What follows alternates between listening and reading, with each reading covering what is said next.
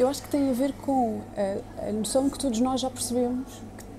que, uma, uma, em, em primeiro lugar, com o empoderamento individual e depois com o empoderamento coletivo. Nós sabemos a força que as redes sociais nos dão, ou que a internet nos dá, dos dois lados, não é? Eu sei que hoje se fizer uma postagem no meu Facebook ou no meu LinkedIn, tenho um alcance imersivo e imenso. E, portanto, sei que não vai ser só a Margarida a ler aquilo, vão ser imensas pessoas a ler aquilo. Portanto, essa liberdade de escolha e de pensamento crítico, e é assumirmos no limite que aquilo que eu consumia na televisão e que aquilo que a televisão me dá e o conteúdo que a televisão me dá já não me serve. E, obviamente, que vai continuar a servir determinados uh, um, clusters da população e vai sempre servir, e no limite tem que servir. Porém há outros que já não se identificam com aquele conteúdo ou integralmente não se identificam com aquele conteúdo e que, portanto, sabem que a internet, sendo um mundo de possibilidades e um mundo de liberdade, permite eh, o consumo de outro tipo de conteúdos que a televisão ainda não chegou lá ou que não vai chegar. Se bem que ainda consigo assumir que há canais de televisão que já estão uh, mais aptos e mais preparados e já entenderam que de facto têm que começar a dar outras coisas. O caso da RTP, para mim,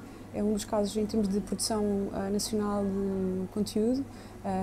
de séries, sobretudo, de produção nacional, acho que está a fazer muito bem uh, essa, essa passagem, inclusive está a trazer pessoas de 20, 30 anos que já não estavam a consumir televisão um, no horário nobre, a ver essas séries porque é escrita por X pessoa que eu, com, com quem eu gosto muito, porque é interpretada por esta pessoa que eu adoro, e portanto é muito interessante, de repente, aquelas pessoas que poderiam estar a ver uma série no Netflix àquela hora, estão a ver uma série na RTP porque é de facto interessante e é um bom conteúdo.